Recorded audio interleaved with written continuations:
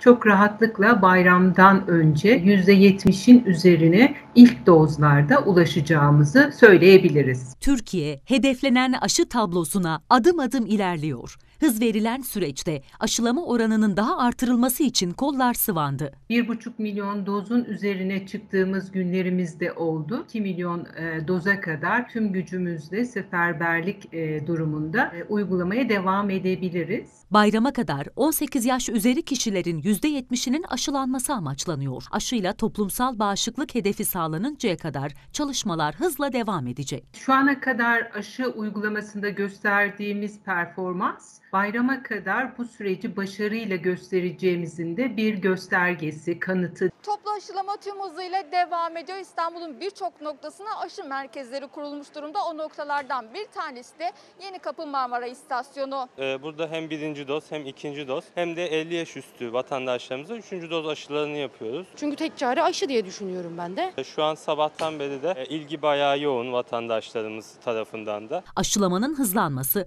ve vatandaşların yaşadığı tereddütlerin giderilmesi için birçok merkeze aşılama noktası da kuruldu. Bu noktalarda vatandaşlar randevu almadan da aşı olabiliyor. İki doz arasındaki süreyi de şu anda 4 haftaya kısaltmış durumdayız. Böylelikle iki doz oranımızı da e, oldukça e, yükseltmek istiyoruz. Aşısını olan vatandaşlar işte bu noktada bir de hatıra fotoğrafı çektirebiliyor. E, 18 yaş üstü bütün vatandaşlarımızı aşı noktalarımıza bekliyoruz. İki doz aşılı oranımızı da yine %70'lere hedef grubumuzun %70'lerine ulaştırırsak eğer sonbaharda rahat bir nefes alacağımızı düşünüyoruz. Bilim Kurulu üyesi Profesör Doktor Deniz Çalışkan, toplumun bağışıklık kazanması için oranın daha da artması gerektiğini vurguladı. İki doz oranımızı da e, oldukça yükseltmek istiyoruz. Şu anda iki doz aşılı yani tam korunaklı olan e, vatandaşlarımızın oranı kabaca 5'te 1 oranında. Çalışkan, vakaların yeniden yükselişe geçmemesi için vatandaşlara uyarılarda bulundu. Bu virüsün sevdiği üç şey var. Kapalı mekanlar,